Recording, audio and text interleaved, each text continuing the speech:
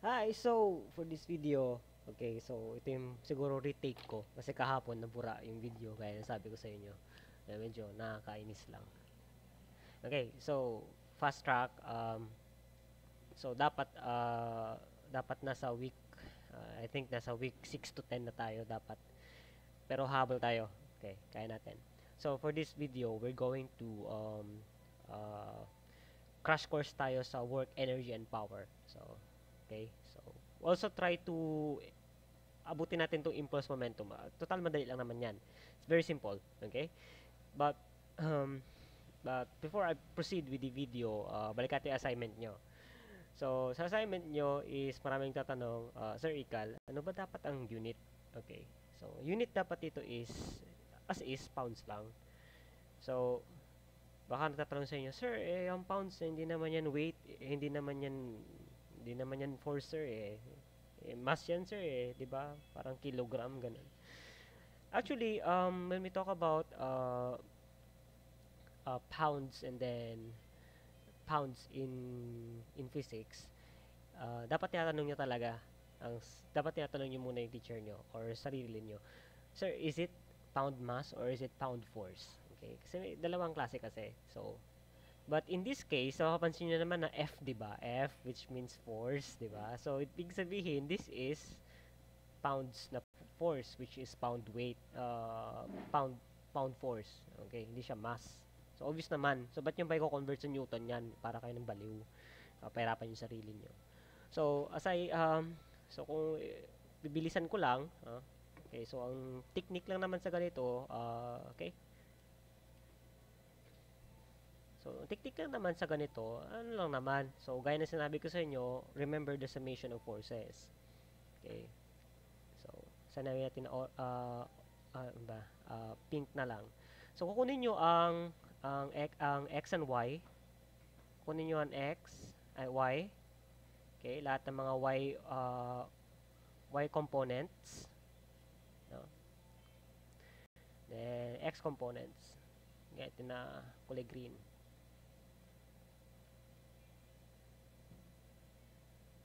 Okay, so pretty obvious, no? So, summation of forces along the x-axis, and then, of x component, sorry, and summation of the y component, forces in the y component. So, papansin nyo dito, everything that is going to the left, which is negative, and everything that going to the right is uh, positive. So, this, uh, in this case, so itong F1 and then F2, okay, F1, so that, sorry, so this is negative, F 1 x component minus f2 x component plus f3 x component. Kaya maliliit na x sa ilalim. As for the y, um, again, everything that go, uh, goes up is positive. Positive yan. And everything that goes down is negative. So, this one is positive. So, positive f1y component and this one is negative. So negative f uh, 2 y component. And then this is also negative. Negative f uh, 3 y component. So so the resultant or the resulting the resulting force is equivalent to the summation uh, square root of the squared of f of x component summation uh, total yung summation. Then summation of f of y component. And angle obviously is arctangent of the opposite. So, that's uh, summation of Fy, summation of Fx. So, ganun lang. So, ganyan lang. So, ito lang naman yung medyo maawat dyan. Yan, yan. Ngayon, medyo maawat. Now, ganyan lang ba kasimple yan? Hindi. Kasi may mga trick pa dito. Medyo may mga gulo-gulo pa konti. Take for example, this one. Okay? So, papansin nyo, walang, sa lahat ng, sa tatlong binigay na force dyan, uh, may mga angle yung dalawa, ito wala. So, napakadali lang naman eh. Kung kukunin nyo angle na yan, oh, yan oh, angle na yan, angle theta na yan, madali lang naman kasi may binigay na triangle, which is 12 and 5.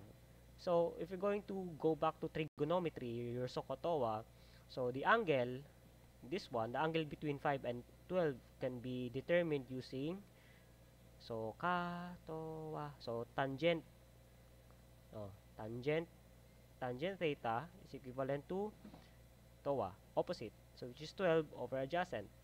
So theta is equivalent to arctangent of 12 over 8, uh, 12 over 5. No. Okay? So that is equivalent to, uh, I think 60, 61 ba yan? 67?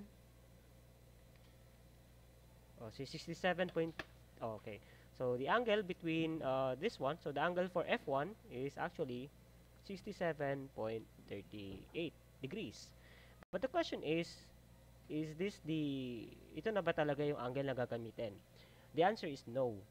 Kasi all, all you have to remember is, is you're going to read the angle from the x component, uh, from the y axis to the uh, counterclockwise. Ganyan. Ganyan ang pagbasa ng angle. Okay? Gets nyo? So, ibig sabihin, this 61, okay, burahin ko na lang para madali. Okay. So, which means that the angle here, the angle between uh, this one is 180 degrees minus the 67.38 degrees. So, ito yung angle dyan. So, that is equivalent to 180 minus 67.38. Uh, so, that's 112 degrees. Okay. 112 degrees. Point something. Oh, point 62 nga eh. Okay. So, yan ang angle dyan. Sir Ikan, ito rin ba hindi magagamitin angle? Hindi rin. Kasi itong angle na yan, hindi yan ganyan. So, magiging 300, 180 yan plus 40. Kasi, ang isang ganito, ang isang straight line ay 180 degrees, di ba? Kung alalahan ninyo. So, ibig sabihin, 180 plus 40, okay? So, 80, 91, 210. Uh, 220.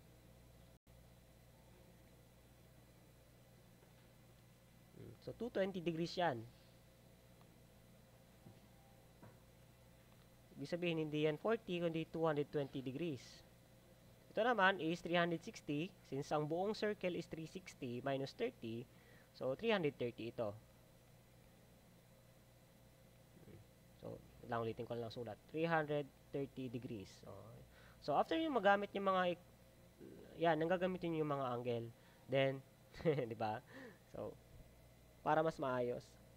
So, din yun na, again, if you're going to review it, the value of the x component is equivalent to f of x cosine of angle theta and then f of y component is equivalent to the force multiplied by the sine of the sine theta so yun yung mga gamit yung angle oh. yan yan yung mga yan it's quite simple so pa ba uh, kailangan ko ba ituro yan kasi actually naturo na yan sa high school oh, so parang review na lang ito okay now we proceed with work power and energy. And for this one, for this slide, we're going to talk about uh, work and kinetic energy first.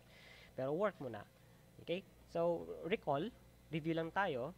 So, as we already said, force is equivalent to the mass times acceleration, which is force, this is the second law of motion of Newton.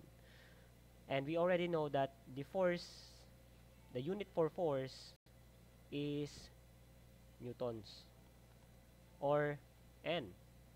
Now, meron akong tinatawag na parang sabog version. Sinasabog na version. So, sinasabog ko yung, yung mga yan kasi I have to understand.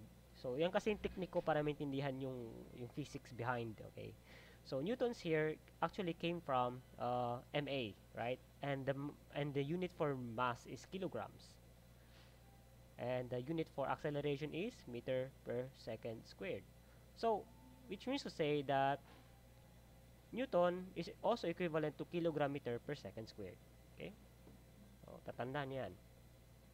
So, everything, anything that you see as kilogram meter per second squared, that is Newton. Right?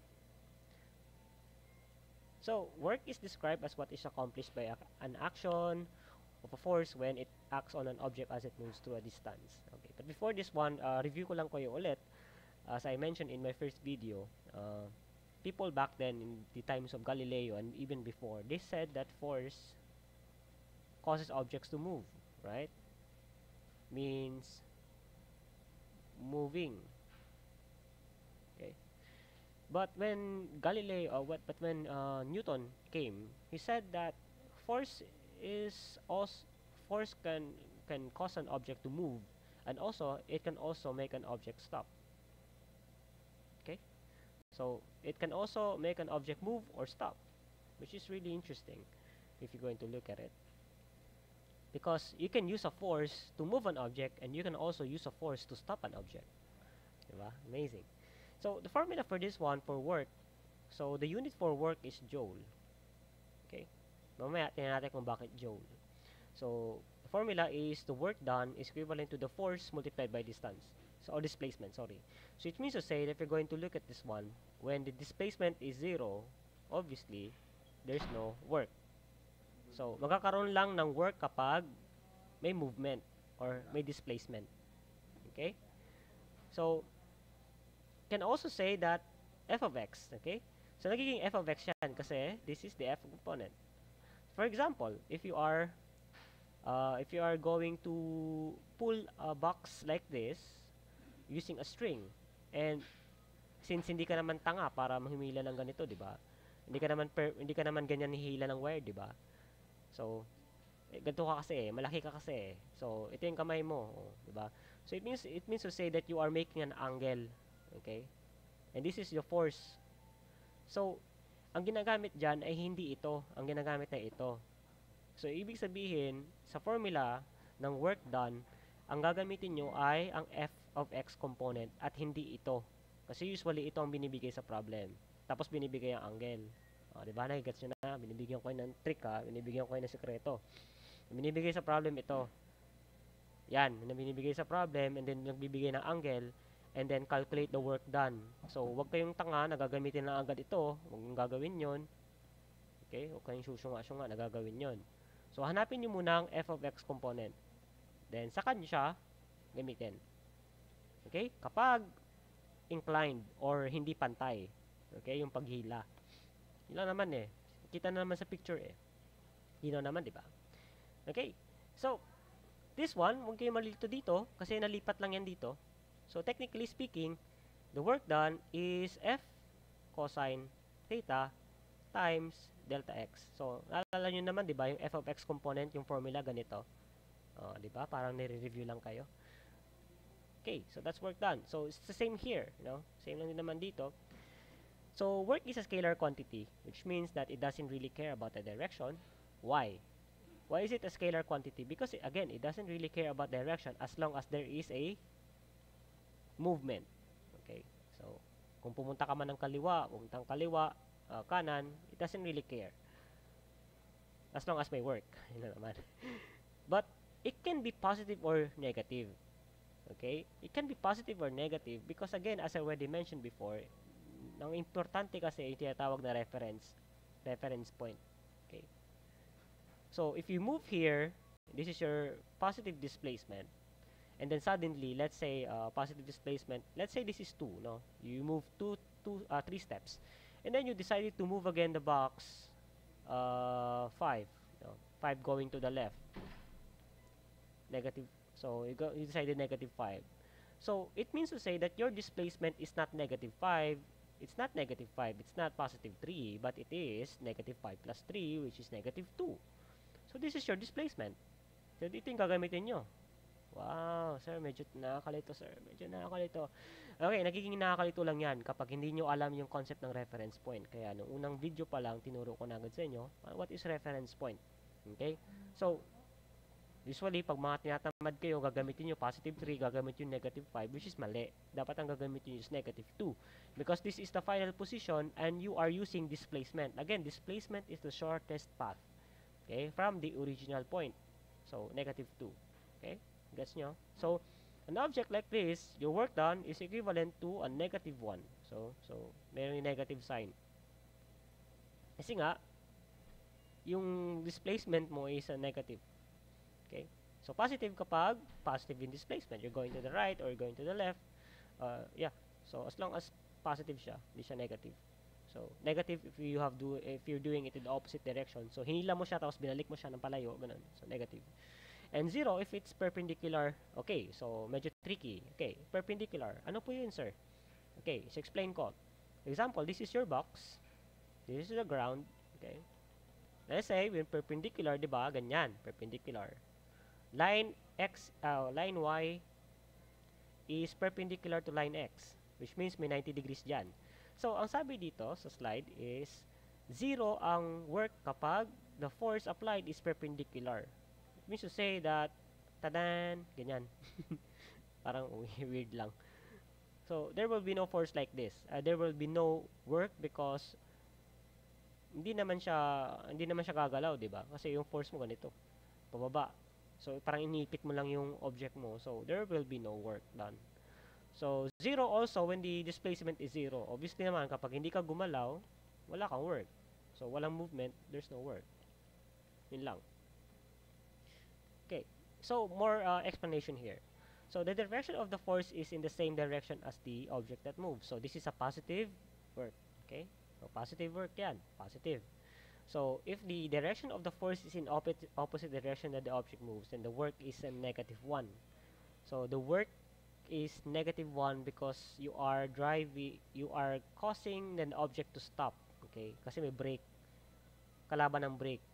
So, it means to say, there will be a time, okay, magiging negative ang work niyan because there will be a time na ang work mo ay magiging zero. Kasi, ibig sabihin, kapag ang work ay 0 kapag object na to ay guma gumagalaw dati. Kasi siya ay stop na. Nag-stop na siya. It means, kaya negative. Okay. So, you're causing an object to stop. Okay. For this one, the direction of the force is perpendicular to the direction that the object is moving.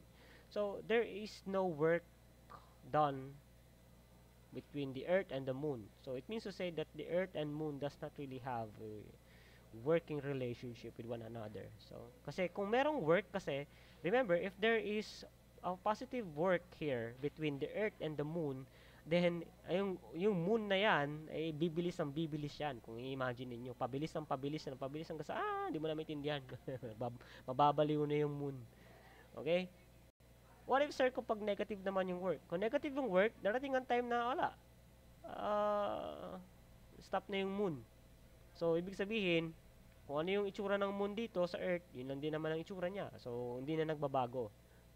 Parang ganun. Hindi siya gumagalaw at all. Kasi, there will be a time na magiging zero yung work niya. Ibig sabihin, hindi na siya gagalaw. So, the object doesn't move. Again, the work done is zero. So, when you exert a force on a wall, unless gumalaw yung wall, no? Pag umusog yung wall, ibig sabihin may work done na yon, may positive work na yon. Pero hindi ka naman ganun kalakas. Sorry. okay, next slide. So, again, the simple, the, the most, uh, the basics in calculating or in doing physics work is by doing the free body diagram. So, actually, yan ang titingnan ko, free body diagram.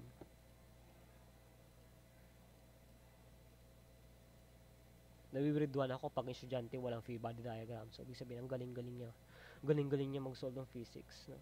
Parang, wow, hindi na niya kailangan i-imagine, i-drawing yung, yung nangyayari. Ganun siya kagaling. So, kung hindi ka naman ganun kagalingan, ibig sabihin ng kopya ka lang. Hindi mo naintindihan. So, bibigyan ko kayo ng trick. Okay, so, now, work done by varying force. But before we proceed with this one, bigyan ko lang muna kayo ng orientation muna dyan. So, kanina kasi, ang, ang ina-assume natin is that our force is constant. For example, if you have a block like this, tapos hihilahin mo, no, oh, wait lang. Then, hihilahin mo siya,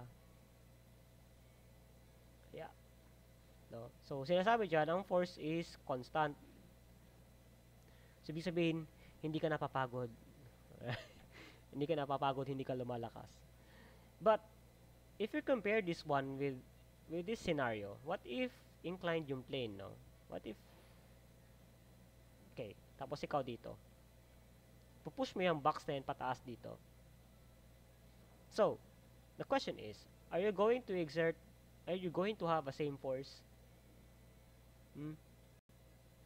The answer is no. Why? Why, Sir Ikal? Okay, kung napapansin nyo, no, the more na tinataas yung isang object, the more na nagiging mabigat. Okay? Mas the more nagiging mabigat ang isang object, the more na tinataas mo siya.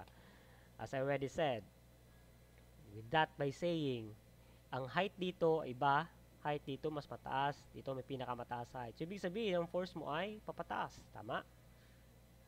I mean to say that the force that you are required to exert para may taas yung box pataas is pataas. It means sabihin hindi siya constant. So, how are you going to deal with such uh, scenario? Diba? Okay? So, dito na pumapasok yung tinatawag natin integration. So, dito na masusubukan yung ano nyo, integral calculus nyo. Okay? So, the formula for the work done is actually equivalent to the, you know, ayan, yun na, no?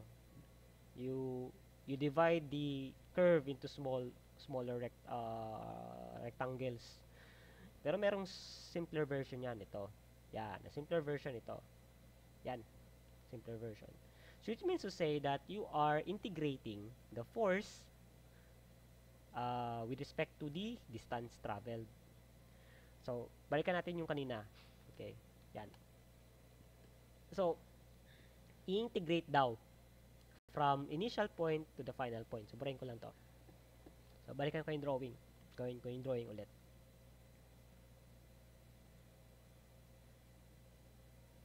Okay, and this this is the box, and this is you pushing the box. Okay, so so as a, as we mentioned here, the work is equivalent to the integral from the first position x naught in the final position.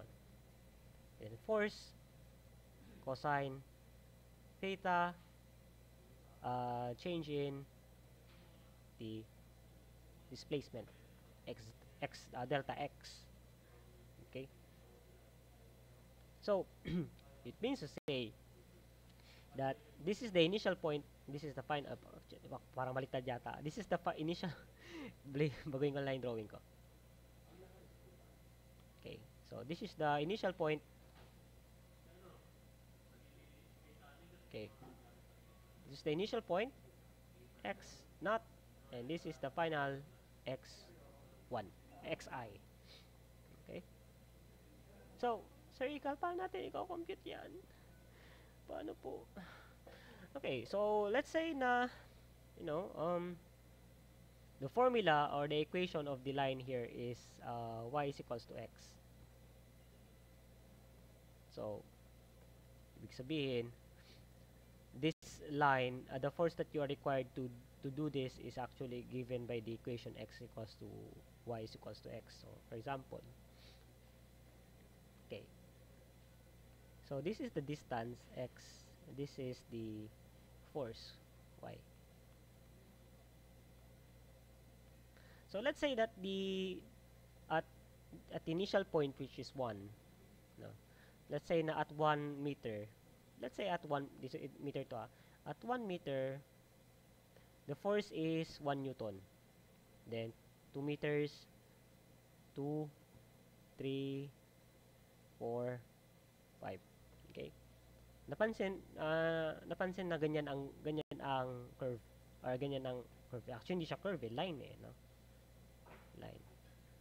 So if you're going to review your uh, geom uh, analytic geometry kunin natin ang equation niyan. Okay. So equation is y is equals to mx plus b. Okay? So it means to say that if you're going to draw this line automatic zero agad yan bagsak niyan. So ang ating y uh, y coordinate uh, y intercept is 0 so that leaves us with y is equals to mx. Now what is the slope of this line by the way? Okay? So the slope of the line is equivalent to the delta delta y over delta x. And that is let's say 2 okay? So the value of 2 minus 1 and then 2 minus 1 so that is 1 right? So y is equals to x. So basically the formula the equation of this line is y is equals to x. Now salpak natin this equation. So the work done is equivalent to the uh, is equivalent to force of force theta 0 pero dito kasi is magiging ano na siya uh, force theta theta fx f of x. Okay. Force. This is your force no? So let's say ah varying force kasi ito. Wait lang balikan natin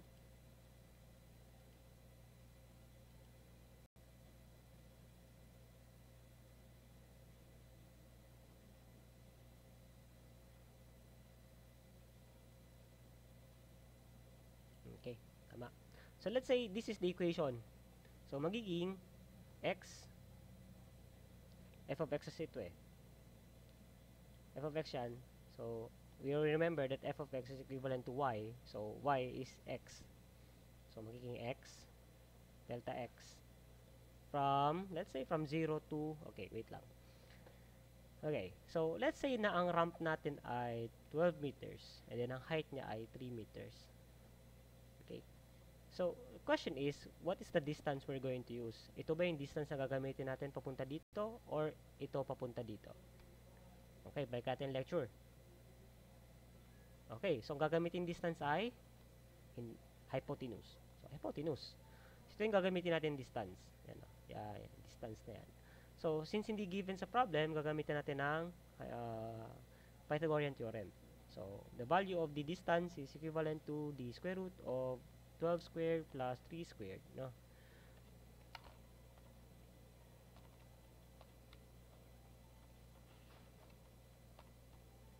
So, that's 12.36 or 37. So, the distance here is 12.37.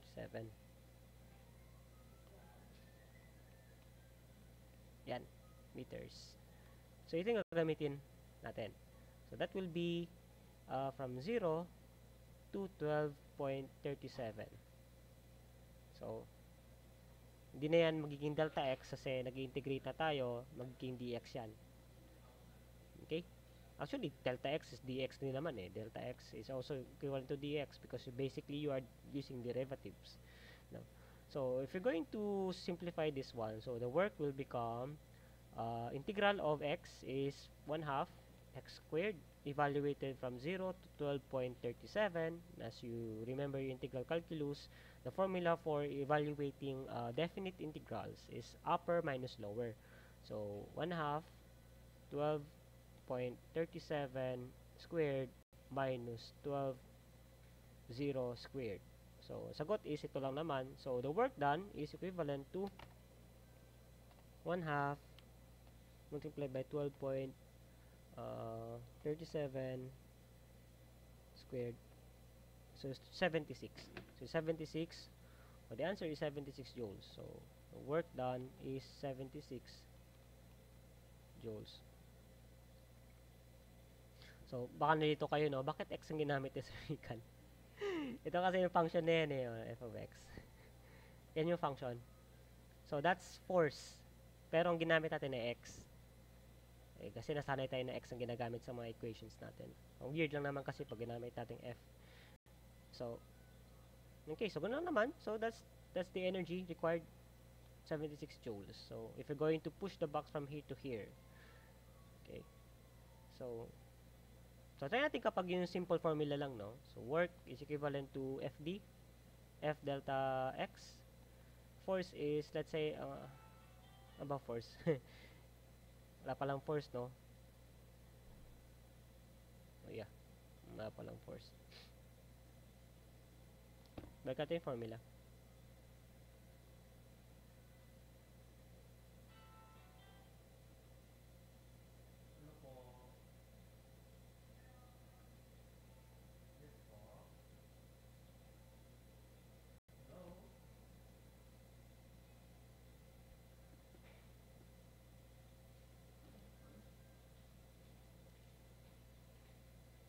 Ha, ba't ano bang iniisip ko? Hindi pala pwede Hindi to applicable kasi nga, ano tayo?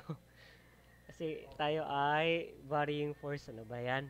Hindi mo pwedeng gamitin yan kasi fixed force yan eh. Ano ba naman? So, ika lang, syunga-syunga mo. Ulitin ko lang ha, hindi mo pwedeng gamitin yung formula na yan kasi fixed force yan. fixed force, okay? Remember, fixed force. Eh, hindi naman fixed ang force natin. Okay, nagets na? Kaya hindi applicable yung formula na yan. Ay, okay, nalito ako. Okay, okay na. So, next. So, that's it. Um, mm -hmm. Medyo masaya, no? So, ibig sabihin sa mga ganitong klaseng problem, ang binibigay ay um, yung equation mismo ng slope. Okay, pero depende naman sa, depende naman. Pero kung ako kasi, ang gagawin ko is, bibigyan ko kayo ng graph. Okay, kayo ang bahala maghanap na, for example, may mga points ako dyan, kayo ang bahala maghanap ng equation. Wow, lagot kayo. So, ganun lang naman. Kanina. Hindi lang naman. So, i-review nyo lang yung analytic geometry nyo. So, that is a work done by varying force. Okay, so, next is work done by varying force which is spring. Okay, so spring. So, sir, bakit varying force ang spring? Okay, so that's uh, actually a question. Uh, good question. So, buti lang tinanong ko. So, varying force ng spring kasi nakadepende yung force ng spring sa magiging compress niya or pag-expand niya. Hindi siya fixed, in short. Okay? Kaya, kaya nakadepende ang force niya sa kanyang yan. Sa kanyang pag, pag ano, pag-compress at saka yung pag-extend niya. So, kung gusto mo mas malaki, malaking force, syempre, i-press mo yung spring na yan sa pinakadulo. No? Para, shoop, malaki yung force. Malaki. So, nagigets nyo ba yung idea? So, kailangan nyo ng imagination dito no, para mag-gets. Okay, so this is the force exerted by a spring. So, the, the force exerted by the spring is given by the formula negative kx. Okay, so huwag kayo mako-confuse sa negative, no? So, tatandaan nyo na lang na ginagamit niya negative kapag yung force ay na-exert ng spring. Okay? Pag yung spring mismo nag-exert ng force, negative yan. Kasi sinasabi nila na negative ang, ang negative ang force ng spring kasi siya ay restoring. So, sir, bakit negative? Bakit hindi positive? Kasi tatandaan nyo, kapag positive yan, ibig sabihin yung spring nyo, from original point, haba ng haba. hindi naman ganun ni. Eh. Kapag kinompress nyo yung spring, Diba? Pag kinompress nyo yung spring, babalik siya sa original position niya. Kaya negative yun. Negative displacement. Which means that the force is just going to go back to its original form. So, contrary to the force that is exerted like this, you know, for example, if i-press mo siya ng ganyan, meron siyang force which is negative kasi babalik siya. Ah, uh, yun, I guess na. So, ganun po yun. So, okay, malilito ha. Tandaan nyo lang, kapag yung spring ang nag-exert ng force, negative yung gagamitin yung force. Pero kapag hindi, positive yan. Okay? Kapag kayo nag-exert ng force, positive yan. So, again, it's varying. So, ibig sabihin, as I, as I mentioned, if you're going to do the graph here, the force of a spring depends on this kind of graph. Okay? So, depende yan sa k of x. So, ibig sabihin, kapag may maliit lang ang pag-press, ang pag-compress ng spring, maliit lang din ang force niya, obviously. Kapag impress nyo yung, kapag sinagat-sagad nyo yung spring hanggang sa kaduluduluhan niya, malaki din ang force. Very obvious. So, yun ibig sabihin ng graph na to. Okay? So, that is just the force, no? Pero pag work, okay. So, pag work, ibang usapan naman. But let's try this one. Let's try to solve a problem. So, a person compress a spring. So, a person compress the spring implies that the force is the force is equivalent to positive, you know, positive kx. Tama? force compresses a spring a distance of 5 cm which requires a force of 100 newton. So, okay. So, letter A, calculate the amount of work which is required for a person compressing the spring. So, ilan yung force na kailangan ng tao na yun? Ilang force yung kailangan niya? Uh, work pala, sorry. Work. So, ilan yung work?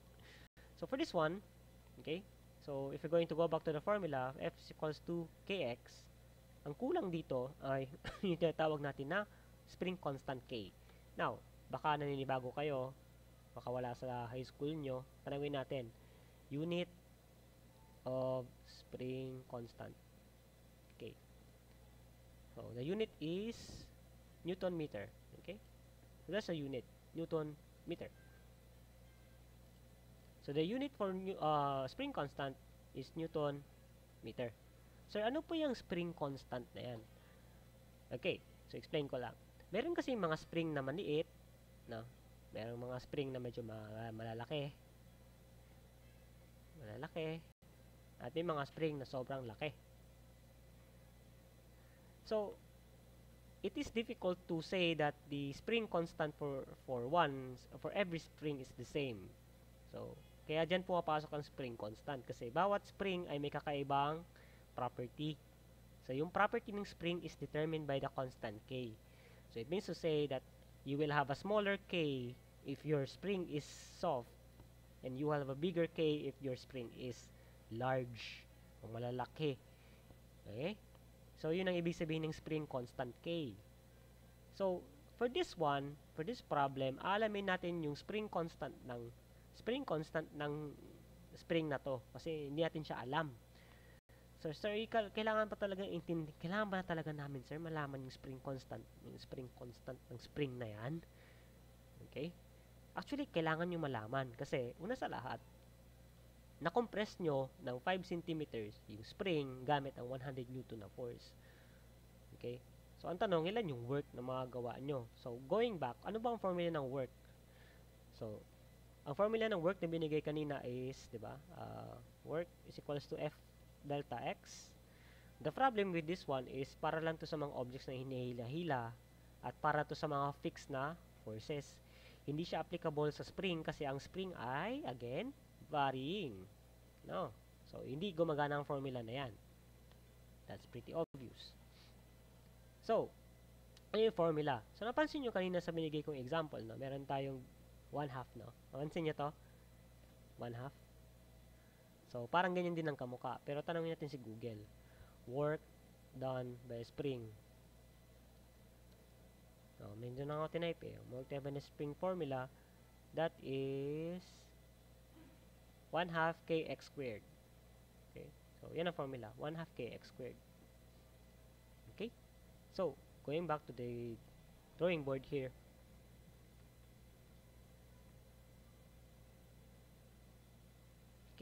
So, the work done per spring is equivalent to, spring is equivalent to 1 half kx squared. So, ibig sabihin, aalamin nyo talaga yung k. so, yun ang reason kung bakit.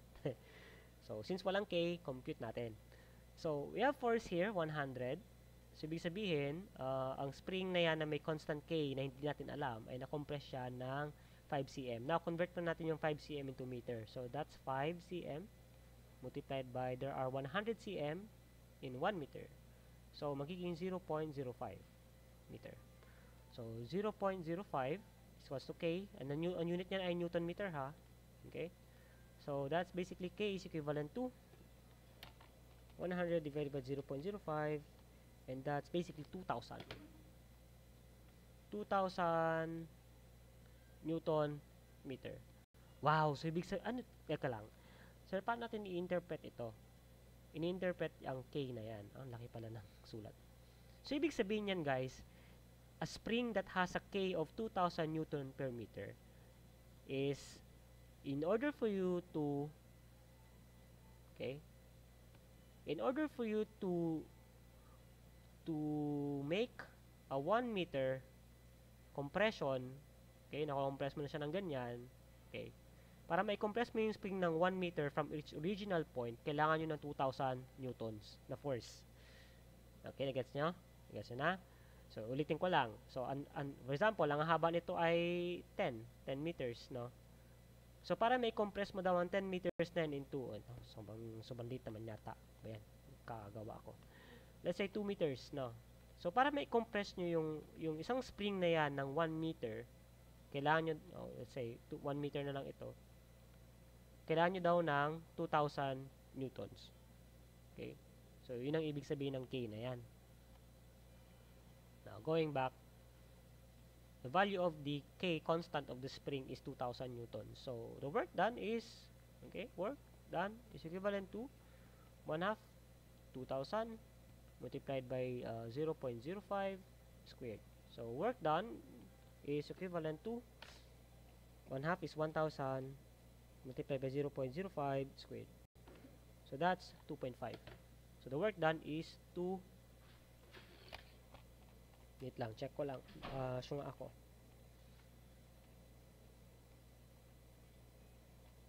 Yeah, the answer is 2.5 joules. Okay, wag niyo kalimutan yung joules ha. Or 2.5 J. So, Sir Ikal, kapag kinompress ba namin ng spring ng 5 cm na yan, using 100 newtons of force, kapag, say, okay, so example, kinompress ha, pag kinompress, okay, from initial point, ganun din ba sir ang work done kapag kapag decompression? Or let's say, for example, ito yung original point, okay, for example, ito yung original na haba niya, tapos ang ginawa nyo, gin-stretch nyo siya para maging mas mahaba siya ng 0.05. Diba? So, ganun din ba sir ang work done? The answer is yes. Same lang. So, same, same lang. So compression or compression or extension same lang din. So same same lang din. Work done. Okay, so that's letter A. So the answer is 2.5J for letter A. And let's try letter B. So how much work is needed if the person instead stretches by 7 cm? So from initial, magiging 0.07 siya. So the work done is equivalent to 1 half K constant 2000 multiplied by 0.07 squared. So yun lang naman din. Actually, nagpahirap lang kasi kailangan nyo compute yung K constant eh. So, I hope na gets nyo yung concept ng K constant, no? So, the answer for the work is 4.9 joule. Yan. So, I hope na gets nyo na, no? Kung ano yung, kung bakit, kung bakit hindi lahat tinagamitan ng work, the formula is equals to F times D, uh, ganun. Kasi meron tayong tinatawag na varying forces. So, iba na yung mga work formula doon. So, naging 1 half chuchu na. Uh, 1 half kx squared, 1 half, uh, ganun. Basta nagbabago na siya. So, okay, next slide is work, okay, work energy theorem. Okay, so dito natin na-encounter yung tinatawag na kinetic energy. And the formula for kinetic energy is actually 1 half mv squared. No, kung maalala niyo yung ano nyo, physics nyo sa high school. The formula for kinetic energy, KE, is equivalent to 1 half mv squared. And the unit for that is also joule. Right? Energy kasi eh. So,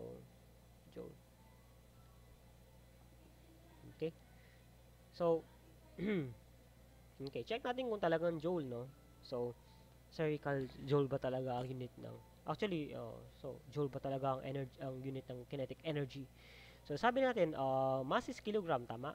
And then velocity is meter per second. And then is-squared natin 'yan. Squared, squared. okay, so mukhang uh, Newton, oh, tama, joule.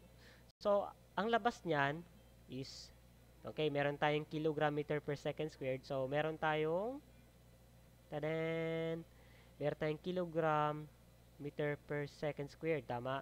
And we already know what that is. And kilogram meter per second squared is Newton. So, meron tayong natitirang isang meter. So, that's times M.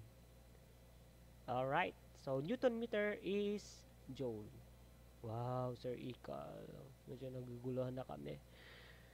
Okay, so kanina kilogram meter per second squared is Newton. Ngayon na meron tayong times meter, that is actually joule.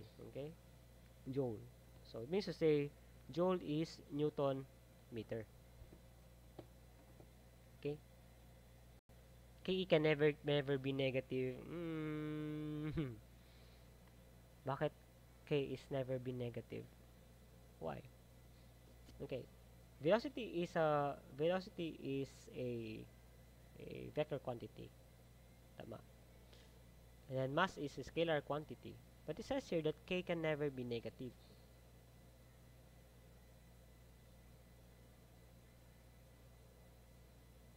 Ah, okay. Because this is the work work done. So again, as we already said, there will be no work if there is no change in direction. Uh, there is no change in displacement, and we already said Okay, so work is can also be negative, right? No? So medyo weird lang, no? Ah, I see. I see. So the reason that the, the kinetic energy can never be negative, can never be negative, is because of this formula. So it's a change.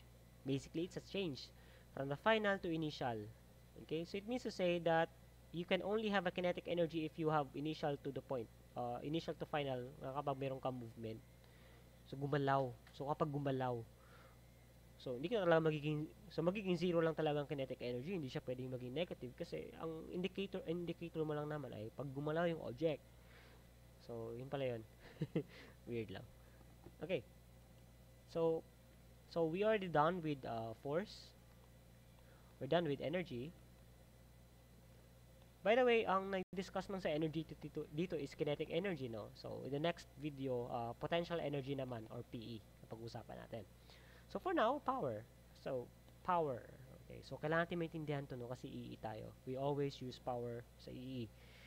And in order for you to understand the physics behind power, kailangan natin to intindihin ngayon, no? So, the formula for power is equivalent to the work done per unit time. So, we already know that the unit for work is joule, tama? Uh, yeah, joule. And that actually joule is equivalent to Newton meter times meter Tapos sinabi dito, oh, per time, per second. So, ibig sabihin, joule per second, that is watts. Okay, watt or watts, no? Joule per second is equivalent to watt. And Newton meter per second is also equivalent to watt. Pero mas common is joule per second. So, ibig sabihin, direct, so ibig sabihin, watt or en or power is how many energy per second. You know, how many energies per second. So, that's power. So, it means to say that, for example, if, if a light bulb, if a light bulb Kaya pangit ang drawing ko, baka malaswa, baka iba na maisipin nyo. Ano na lang, uh, ano ba? o TV na lang. If your TV has 35 watts, no, in power, so ilan joule per second yan? So, ibig sabihin, 35 joules per second. So, ibig sabihin, umaandar yung TV nyo using 35 joules of energy per second. So, question is, kung pinandar nyo yung TV na yan ng 60 seconds o 1 minute, so ilang joules yun? So obviously, 60 seconds times 60 times 35. So that's how many joules you're going to need.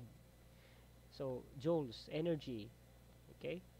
So 35 joules per second. Now, let's see how many energy we can get.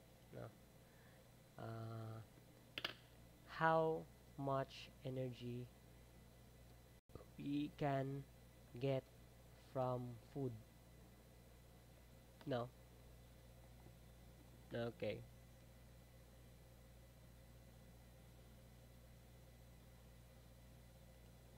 Sabi dito, pagkakain ka ng bacon on a stick, calorie pala ito.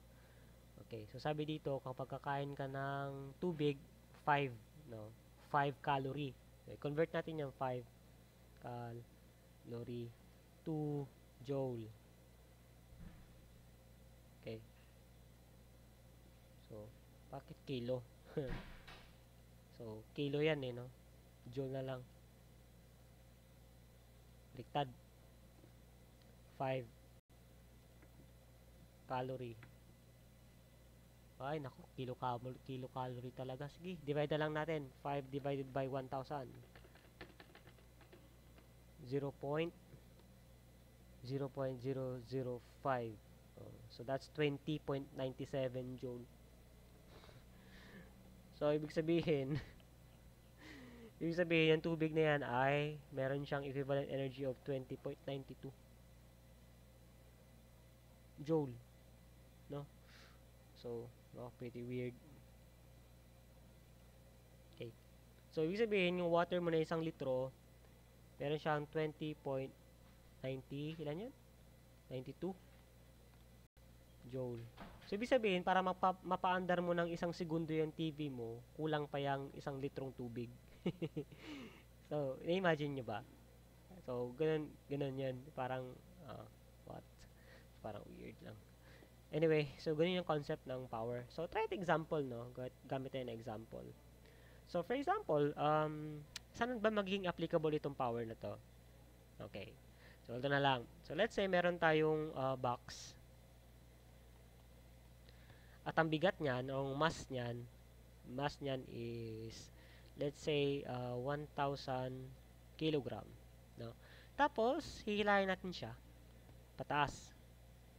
Papunta sa second floor na bintana. So, sa bintana siya papadaanin. Now, kailangan, ang sabi ng, so, since engineer ka, sasabihin mo, uh, hindi, hindi ako gagamit ng tao para buhatin yan. Gagamit ako ng, gagamit ako ng motor para paikutin yan. Yan. Tapos nakakonect yan sa kuryente. Nakakonect yan sa saksakan. Yan. Tapos, yan, saksakan ng bahay. So, nakakonect siya. Yan, may wire, papunta sa saksakan. Ito yung motor. Okay? Tapos, ang taas ng, ng ang taas from ground papunta sa bintana, sabihin natin ang taas niyan ay may natin na 15 meters. Okay? Second floor eh. So, itataas natin yan mula dito papunta sa taas. So, let's say na lang na ano, yeah, let's say 15 meters, no? So, ang mangyayari, ang tanong, okay, So since we are talking with power, okay, we're talking about power and we already know wattage and electricity. So the question is, how many watts? Uh, how many watts, watts yung motor? Okay. So, para mabuhat itong 1,000 kg na, na ano man yan, gano'ng kalaki yung motor? Or ilan yung watts? Oh, 'di ba? 'Di ba yung mga motor natin naka-depende sa watts yan or sa rating. Actually, hindi watts eh, horsepower eh. Horsepower kasi ginagamit sa mga motor. Pero convert na natin sa watts. Remember that 1 HP is equivalent to 0.745 yata. 745 ba yun? 1 HP 2 watts. Yeah. Oh, 745.7. Oh, mali ako. 745.7. Mali, mali, mali. Uh, 1 HP is equals to 0.7 uh, 45.7 watts. So, yan ha. So, gano'ng kalaki yung motor para mabuhat nyo yung 10 kilograms na yan? So, ilan?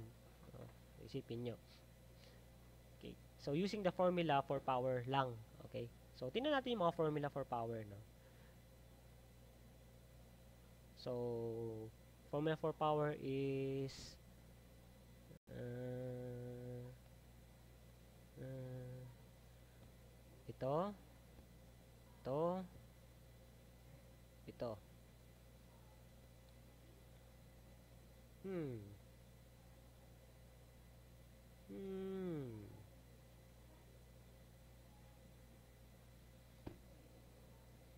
Okay. So, meron tayong height, meron tayong ganito. So, huh, from initial to final point. Anong formula gagamitin natin? Meron tayong distance or height, meron tayong mass. By the way, meron tayong G, no? 9.81 meters per second squared. At ang formula ng power natin is energy or work per unit uh, time. No? Work per unit time. So, ilan yung work, no? Work done. So, work done as the uh, okay. So, may force tayo. Okay, nice. Meron na tayong force. So, imaginein, eh, tingnan natin yung work, no? So, oh, may time tayo. Okay. Okay, okay, okay, okay.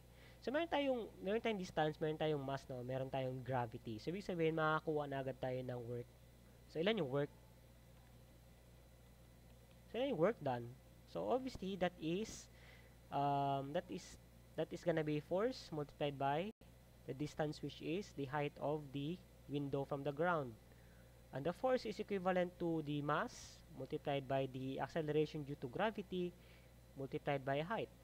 Nasusundan? That is equivalent to work. Then work is equivalent to 1,000 kilogram multiplied by 9.81 multiplied by the height which is 15.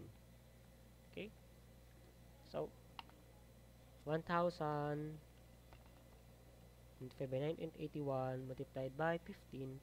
So, the work done that is required the work done from uh, for raising the block uh, raising the back gauge from 0 to to 15 meters is 14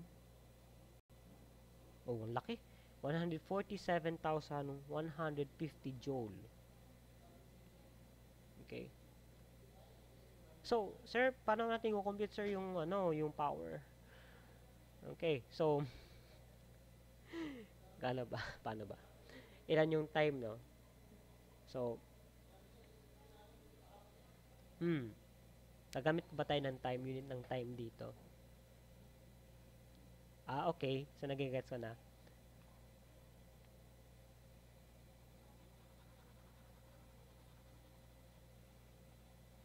So, it means to say, it means to say na ito yung work energy, uh, work uh, required para itaas yung, yung box na yan na 1,000 kg. Ito, 147,150 joules. So, ganun kalaki. Now, hmm. Okay, so, kailangan natin ng time. Wala tayong time. So, balik, ano natin, balik tayo sa, kin so, para makuha natin yung time, no, kuha, pupunta tayo ng kinematics. Okay, punta tayo ng kinematics. So, what is balik rin natin. So, imagine niyo nandito na yung box sa taas. Ilan kayo yung time pababa? No?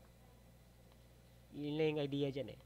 So, ilan yung time pababa? So, makakuha natin yan using um, uh, h is equals to uh, okay, kinematics tayo. Mga formula sa kinematics, balikan natin. So, review tayo.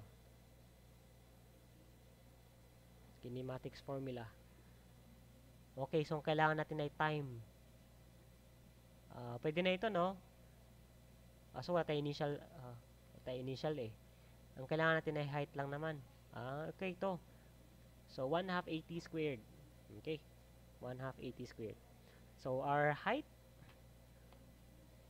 is equals to 1 half gt squared. So, hindi tayo gamit ng a kasi meron tayong g. Okay. So, the height is 15 meters.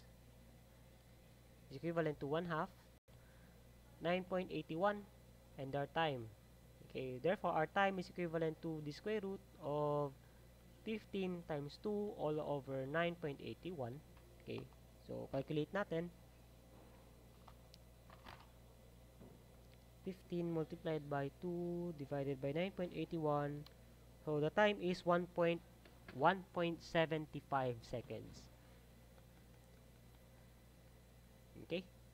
So, if you're going to drop this object from here to here, the time will be 1.75 seconds.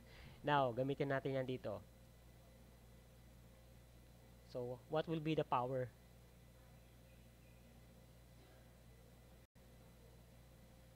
Okay? So, the power is work per unit time and the power is equivalent to 147,150 joule divided by 1.75 seconds. So, power is equivalent to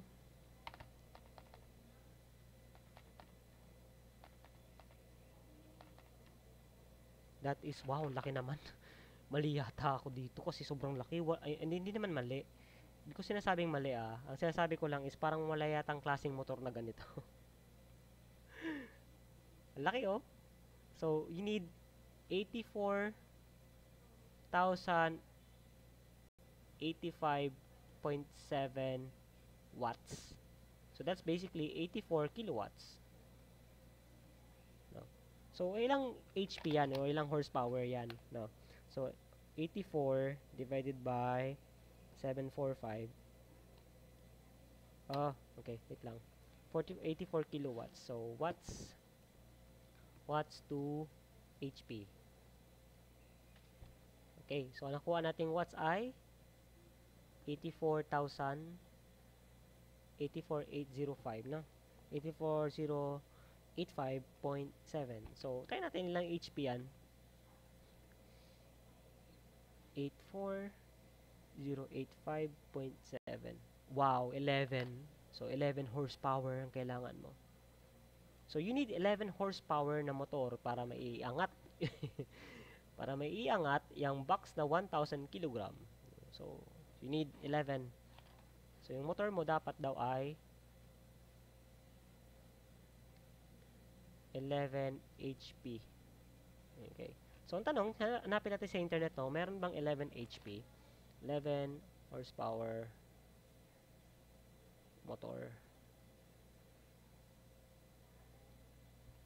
ooh meron wow Ayan o. Ito. Yan. So, ganyan ang klaseng motor ang kailangan mo para maiangat yung para maiangat yun. Ano. So, so ganun yun. So, ganun po gumagana yung physics sa totoong buhay, no. So, actually, hindi naman siya actually totoong buhay, pero parang applicable din siya kasi this is how you're going to use your knowledge, use uh, knowledge in physics and uh, physics to to use it to calculate things. Kasi again, you are not studying philosophy, you are studying engineering. Diba? Engineering. So, engineers use this actually. So, kaya tinuturo to sa engineering kasi we are we are building things. We are uh, solving problems. So, for example, ang uh, customer natin is merong siyang ganitong klaseng bigat and then we are we are required to lift the object papataas. So, the question is, so yun ang question dyan eh. So, actually, in practical application or in real life scenario, okay, so in real life scenario, bigyan ko kayo ng maganda example ah, para ma, para ma, ano kayo, para ma, tawag dyan, para ma, inspire kayo para maging engineer o para ins- para intuloy yung pag-aaral niyo ng science no? Kasi merong crane eh no? Merong crane yan. Tapos paano ba drawing? Pangit ang drawing ko yan tapos may gulong. So meron kasi yung obviously meron kasi talagang motor yan sa gitna. Meron yung motor sa loob na hihila kung ano man yan nasa taas na yan. So considering the the the mass of an object is going to going to be lifted So, ang tanong dyan, eh, gano'ng kalaki yung crane na kailangan nyo? Oh, so, yun yung mga tanong. So, yun yung purpose, yun yung purpose ng physics, yun yung purpose ng uh, physics and engineering. Kasi hindi kayo pwede mag-hula-hula hoop, hula-hula hoop dito. Kasi, for example, ang bubuhatin lang naman ay 1,000, 1,000 kilogram pala, tapos nagdala kayo ng sobrang laking crane, eh, ang, ang mahal-mahal ng ano niyan eh. Ang mahal-mahal ng renta. Okay, ang mahal-mahal ng renta sa sobrang laking crane. Kaya, as an engineer, sasabihin sa sarili nyo, gaano ba kalaking crane ang kailangan ko? Yung hindi naman ako matataga ng sobrang mahal kapag bumili, kapag nagrenta ako ng ma- pinakamalaking crane kasi parang naman akong tanga nun. So, dito na pumapasok yung tinatawag nating econo- economics. So, so instead of instead of magrenta kayo ng sobrang laking crane, yung overkill na crane para buhatin yung bigat na yan, considering money, hindi nyo gagawin yon So, i-compute nyo ilan ba yung energy or ilan, ilan ba yung work required, ilan ba yung power rating na required dito sa sa lifter na hindi naman ako mamumulubi sa sa renta. Okay, so naiintindihan nyo na bakit kailangan ng physics. So, sana nagigets nyo na, no? So, meron palang application ng ganun sa Sir Ikal. So, ganun po. Uh, ganun po siya. Uh, okay, so sana nagets nyo, no? So, sana magamit nyo rin at ma na-stimulate ng konti yung ano nyo, imagination nyo. okay, so that's it for this video. Isang oras na. So, mahaba bang usapan. Bye-bye.